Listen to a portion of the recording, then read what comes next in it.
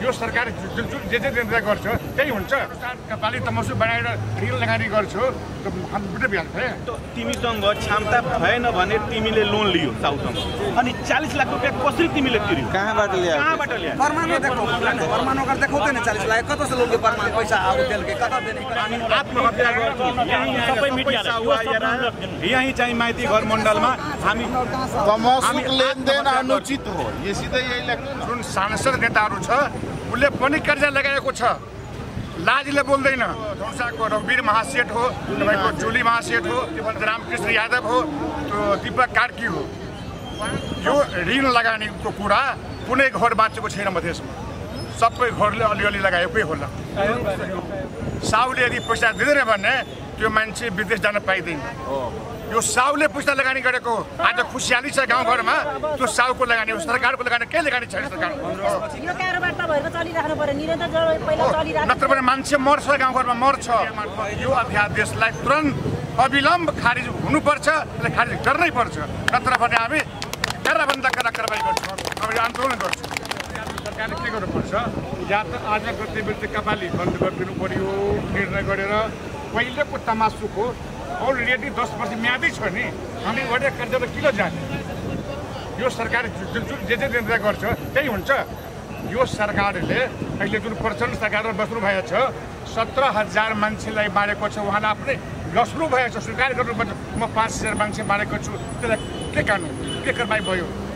भन्नु के कारवाही भयो? हामीहरू मुर्की एम देवानी अनुसार कपाली तमसु बनाएर ऋण लगानी गर्छु।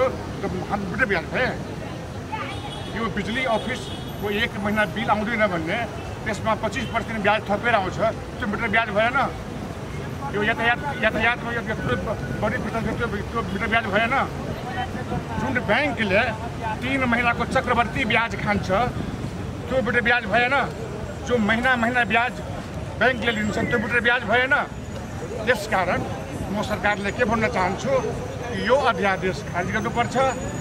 थोरै ऋणीको कुरा सुनेर एकतर्फी कुरा सुनेर अध्यादेश ल्याउने कमसेकम दुवै पक्षको कुरा सुनेर वास्तविकता के हो त्यो बुझेर ल्याउनु पर्छ नि त्यो सरकार मन- मनमानी सरकार हो जुन अहिले जिल्ला प्रशासन कार्यालयमा जुन उजुरी दिने जुन व्यवस्था गरिएको छ त्यसमा कुनै प्रमाण सम्मान लिँदैन बिना प्रमाणको आधारमा निवेदन दर्ता गर्ने उजुरी दर्ता गर्ने र साउलाई दुःख दिने काम मात्रै भइरहेको छ त्यो छलफलमा बोलाउँछ नि ऋणी साउलाई उजुरी पढेपछि ऋणीलाई सम्मान गर्छ र साहुलाई त्यहाँ गाली गलौज बेजती गर्छ कालर समाएर घिस्याउँछ जबरजस्ती निर्णय गराउँछ जबरजस्ती गर्नुपर्छ यस्तो चाहिँ अन्याय हुन्छ।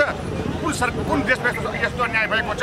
जबरजस्ती गराउने कागज जबरदस्ती कागज गराउनु छ सिडिओ एसपीले यो सिडिओ एसपी खाने घरको फाँडो भयो। यो अध्यादेश ल्याए- ल्याएर यो सिडिओ खालि कमाउने यो काम गरिरहेछ। कति हो तपाईँ माइती अब यो आजबाट पाँचमा दिन।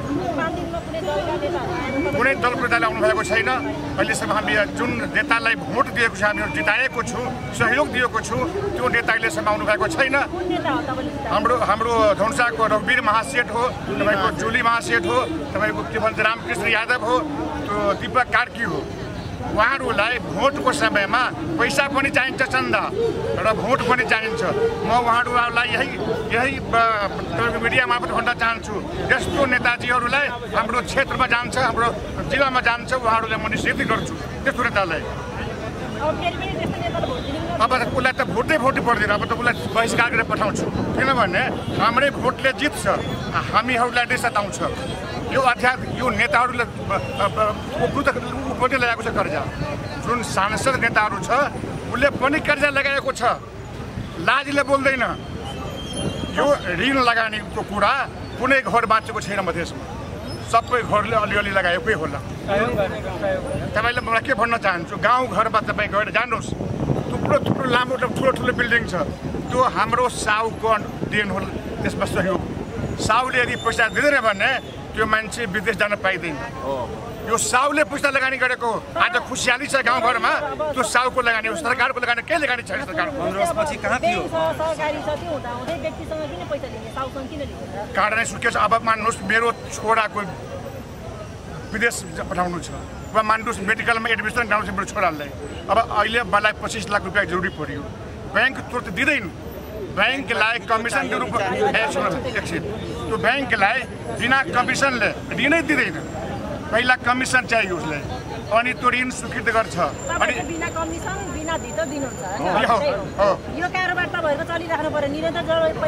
नत्र भने मान्छे मर्छ गाउँघरमा मर्छ।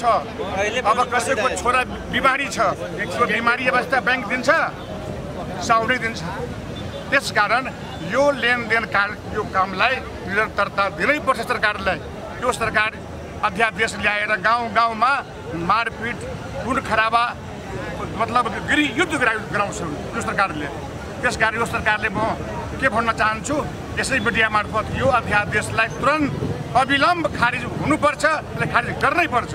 नत्र भने हामी कराभन्दा करा कारवाही गर्छौँ। अब आन्दोलन गर्छौँ। कडा कारवाही होइन आन्दोलन आन्दोलन? अब अब योभन्दा अब अब धरना यसले धरना छ। अब भोलि हामी के गर्छौँ? अनसन कार्यक्रम गर्छौँ। यहीँ मर्छु यहीँ रोडैमा बस्छु। दुःखै मर्छु। के गर्नु? सरकार सुन्दैन भने के गर्नु त?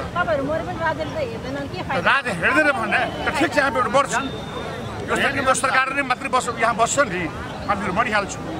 सरकारको सरकारको नेतै हो। के गर्ने त? तपाईँले सुनेको होला धेरै व्यवसायीहरूले व्यापारीहरूले त्यो पेट्रोल छिडेर आगो लगाएको लगाएन संस्थाफलको अगाडिमा त्यो पनि घटना त प्रमाण छ नि। यो- यो देशमा आगो लगाएर देहमा आगो लगाउँछ नि त्यसको कुरा तुरन्त सुन्छ। हामी रोडमा बसेर आफ्नो कुरा राख्छौँ। यो यहाँको गृहमन्त्री कस्तो गृहमन्त्री हो? हिजो हामी ज्ञापन पत्र गएको थिएँ नि।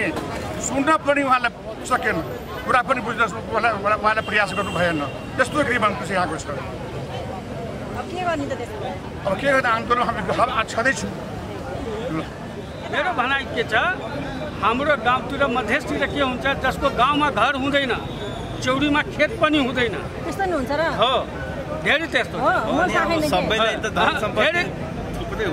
धेरै हुन्छ।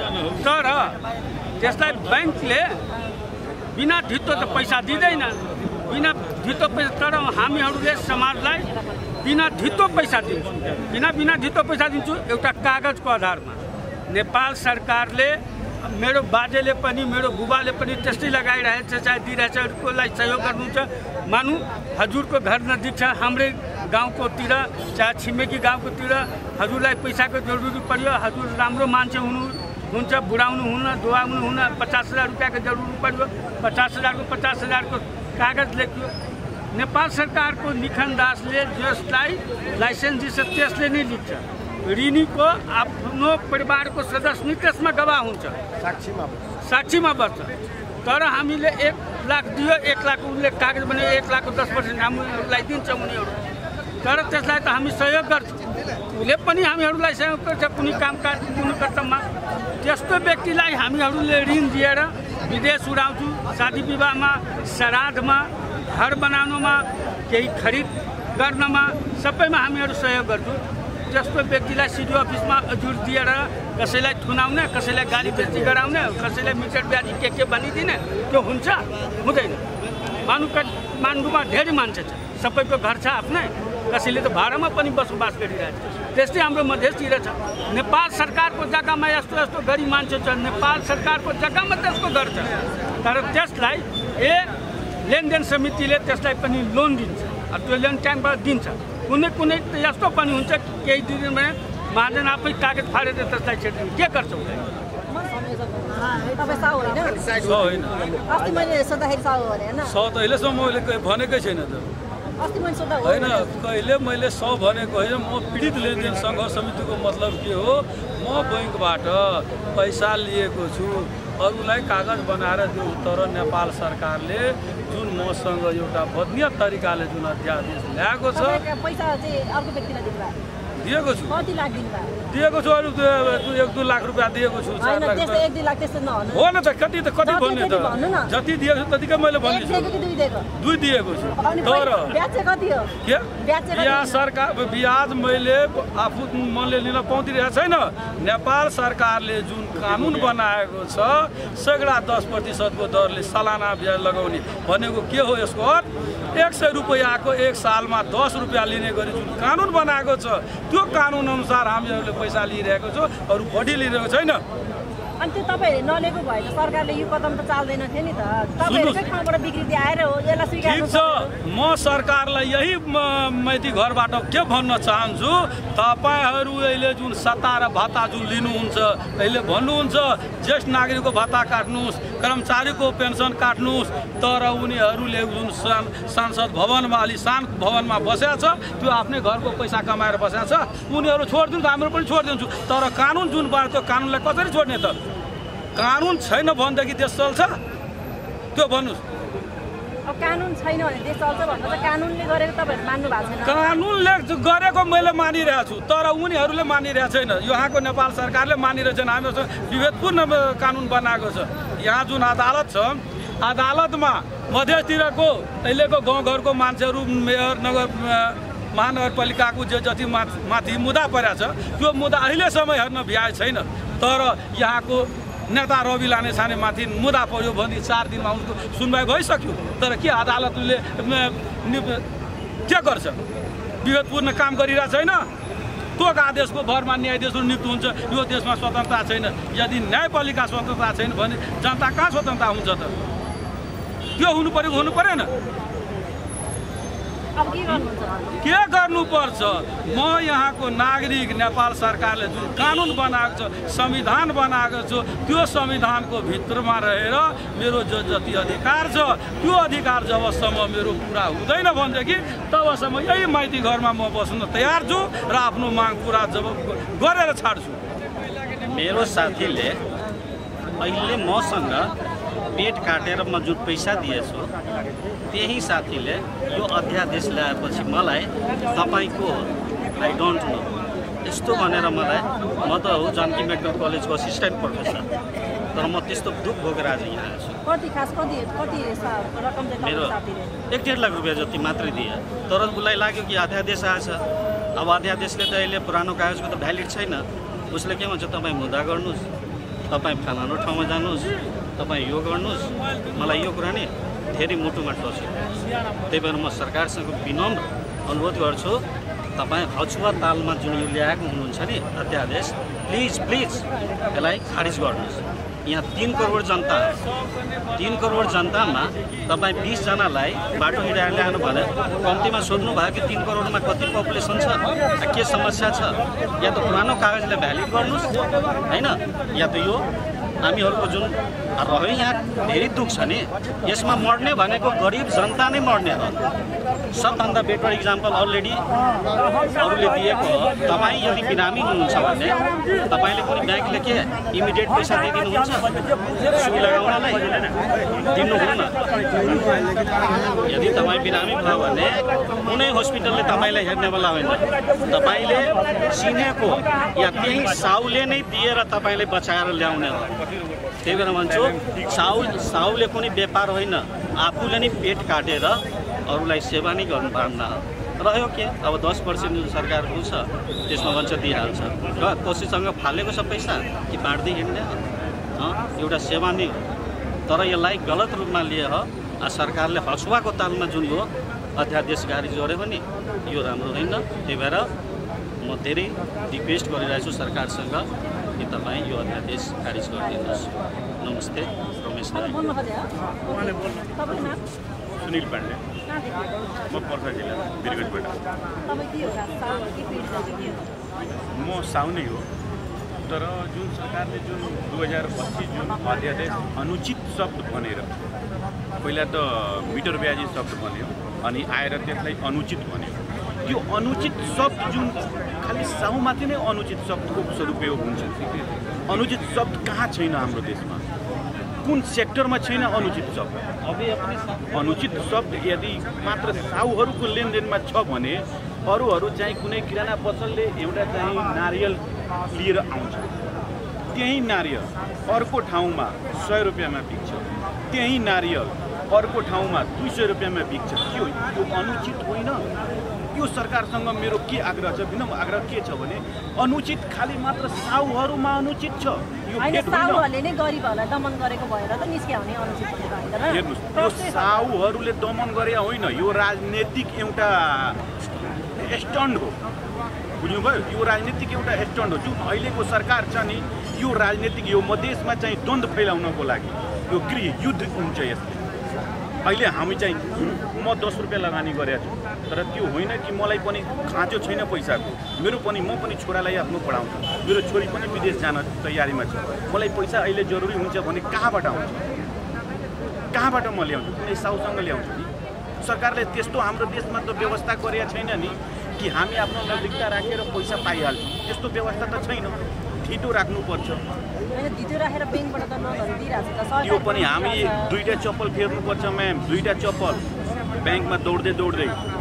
दुईवटा यस्तो गाह्रो छ दुईवटा चप्पल अनि फेरेपछि अर्को तिनवटा चप्पल लिँदाखेरि तेस्रो तेस्रो चप्पल लिँदाखेरि अनि ब्याङ्कले लोन दिन्छ। त्यो पनि हाम्रो घरको सम्पूर्ण व्यक्तिहरूसँग औँठा छाप गराउँछ सही छाप गराउँछ अनि मात्र लोन दिन्छ।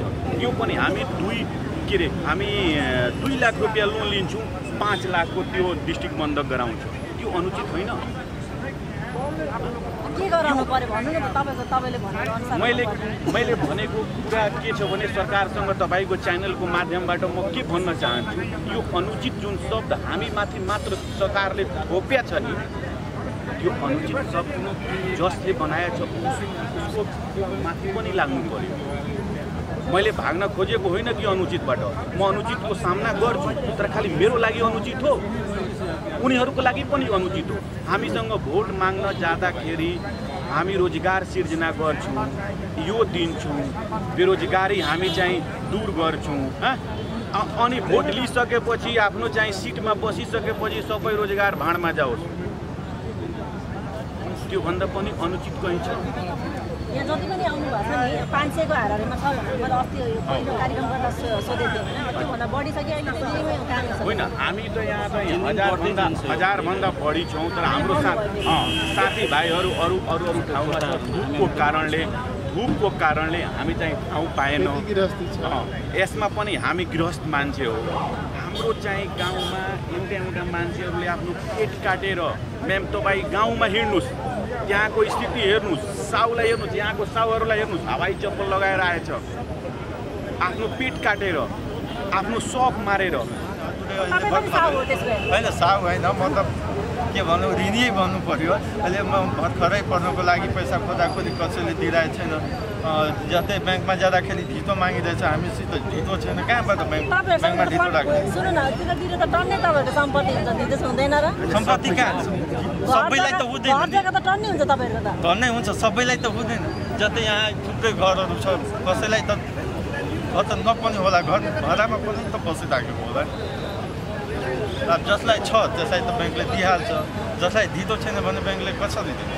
तपाईँ चाहिँ के भन्न चाहनुहुन्छ म यही भन्न चाहन्छु जुन सरकारले यो अध्यादेश ल्याउनु भएछ यो स्वतः खाली हुनु पऱ्यो होइन जस्तै हामीहरूको जुन गाउँघरमा अहिले कोही कसैलाई बिरामी भयो भने कोही कसैले पैसा दिइरहेको छैन होइन? एक आपसको सम्बन्ध जुन छ त्यो सबै विकास भइसकेको छ।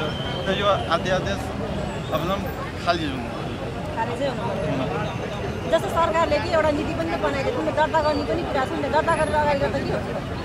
दर्ता गरेर अहिले त त्यहाँ त्यो अहिले त दर्तामा धेरै अब जुन जुन अहिले अध्यादेश ल्याउनु भएछ त्यसमा त हामीहरू पैसा दिन्छु भने त्यसमा ऋणीले भन्छ कि मैले पैसा लिएको छैन अथवा एक लाख तिस लाख गरिसक्यो उहाँको भनाइ मुखले भनाइको मानिरहेछ। हामीहरूको प्रमाणको त्यहाँ कुनै अर्थी छैन प्रमाण देखाएर केही गरिरहेको छैन ऋणीको मुखले नै जे भन्छ त्यही उहाँको हो यो एउटा राजनीतिक मुद्दा बनाइदिएछ अनुचित सब पहिला मिटर ब्याज रहेको थियो अहिले अनुचित त्यो अध्यादेश हजुरसँग म मेरो आग्रह छ हजुरहरू एकचोटि अध्यादेश पढ्नुहोस् त्यस अध्यादेशमा के लेखिएको छ ऋणीले मुखले भनिदिएछ भने मैले चाहिँ पैसा दिइसकेका छु साहुलाई। साहुले पैसा चाहिँ मेरो भरपाई दिइरहेको छैन भने त्यो मिटर ब्याज त्यो अनुचित लेनदेनमा जान्छ अरे। त्यस्तो मुखले भनेर हुन्छ। कसै कसैले त्यो ऋणीहरूले के भनिरहेछ दुई लाखको चालिस लाख तिर्दिए दुई लाख लिने त दुई लाख त तिमीसँग क्षमता भएन भने तिमीले लोन लियो साउसँग अनि चालिस लाख रुपियाँ कसरी तिमीले तिर्यो? कहाँबाट ल्याएको? कहाँबाट ल्यायो? प्रमाण देखाउँदैन प्रमाण ओकर देखाउँदैन चालिस लाख। कता से लोग प्रमाण? पैसा आगो तेल के कता देने कति ला आज यो सरकारको गलत नीतिको कारणले त्यो अनुचित लेनदेनको मुद्दा त्यो हालिरहेछ। अनि सिडिओ साहेबहरूले एकतर्फी चाहिँ एकदम साहुले मुखले भनिदियो ए सरी ऋणीले मुखले भनिदियो अनि साहुको प्रमाण ऋणीको मुख। बराबरै छ यो कुन कानुन ल्याएको मैले भनिदिन्छु कसैलाई कि मैले उसलाई दस करोड रुपियाँ दुई करोड रुपियाँ दिएछु सरकारले मलाई दिलाउन सक्छ? मुखले भनेको आधारमा। तर ऋणीको मुखले भनेको आधारमा सरकारले दमन गरेर आफ्नो शक्तिको प्रदर्शन गरेर अनि साहुलाई चाहिँ दबाउमा पारेर अनि मिलोपतर गराइरहेछ। हरेक जिल्लाको सिडिओहरू तपाईँहरूले माग लिनु भएको छ लेनदेन चाहिँ सजिलो सजल तरिकाले होस् भनेर सडकमा आउनु भएको छ। यो माग चाहिँ छिटोभन्दा छिटो पुरा होस् है त। तर त्यसबाट विकृति चाहिँ नफैलोस्। त्यसबाट विकृति हेर्नुहोस्। विकृति शब्द जुन छ नि हरेक सेक्टरमा छ। हाम्रो सेक्टरमा हाम्रो सेक्टर सेक्टरमा तपाईँले मात्रै हेर्नु परेको अन्त नजानु न। अरूले के गर्छ भन्ने होइन कि? मैले के गर्छ भन्नु पऱ्यो कि? मात्र साहुले अलिकति विकृति गरिदियो भने साहुले सबैभन्दा विकृति गर्ने मान्छे हो। अरूले यति यति ठुलो ठुलो विकृति गर्छ भने उसले उसले के? राजा हरिचन्द्रको खानदानबाट आएको हो। त्यही। लिने दिनेले विकृति नफैलाओस्। एउटा जुन हामी सहयोगको भावनाले एक अर्कालाई सहयोग गर्थ्यौँ हाम्रो चाहिँ पूर्वजले कुनै पनि कपाली सपाली त अहिले सरकारले नि ल्याएको कपालीको नियम हो नि? हामीले बनाएको नियम होइन नि? सरकारकै